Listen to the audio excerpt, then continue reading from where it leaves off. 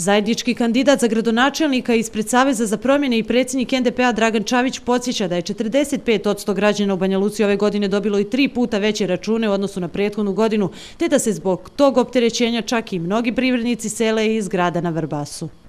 Jedan od njih, neću govoriti ime, koji se bavi proizvodnjom električne energije iz obnovljivih izvora, vrlo blizak politički toj strukturi, sa njim sam razgovarao, bio je prinuđen prošle godine da sjedište svoje firme preseli iz Banja Luke u Teslić, zato što je na njegovu firmu komunalna naknada, godišnja komunalna naknada u Banja Luci iznosila 7000 konvertivnih maraka, što mu predstavlja ozbiljan rashod i on je sjedište svoje firme preselio u Teslić, jer tamo za istu namenu komunalnu nakladu plaća svega 300 konvertivnih maraka.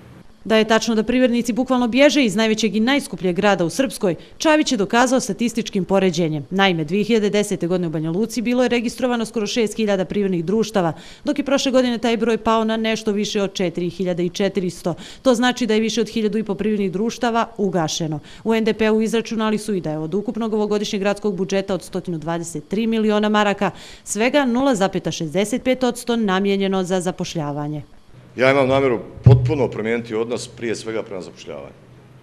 Dakle, sigurno smanjiti sve parafiskalne namete, objaviti registar parafiskalnih nameta u Banja Luci, što e, vlada Republike Srpske nije u stanju već godinama. Čavić je napravio poređenje sa jednom opštinom u BiH, mnogo manjom od Banja Luke, ali i mnogo uspješnijom. Vjerovali ili ne? Opština Tešanj ima godišnji izvoz koji je veći od 2 milijarde konvertivnih maraka. A onda uzmite zvančne statističke podatke u ukupnom izvozu iz Republike Srpske pa i uporedite.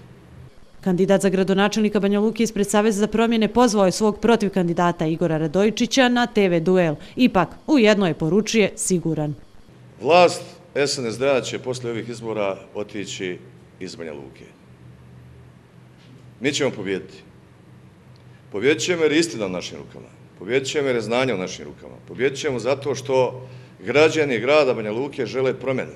U NDP-u obećavaju da će ukoliko dođu na vlast Banja Luci vratiti sve kako je istaknuto uzurpirane parcele i time obezbijediti prihode iz kojih će finansirati isključivo komunalni razvoj grada.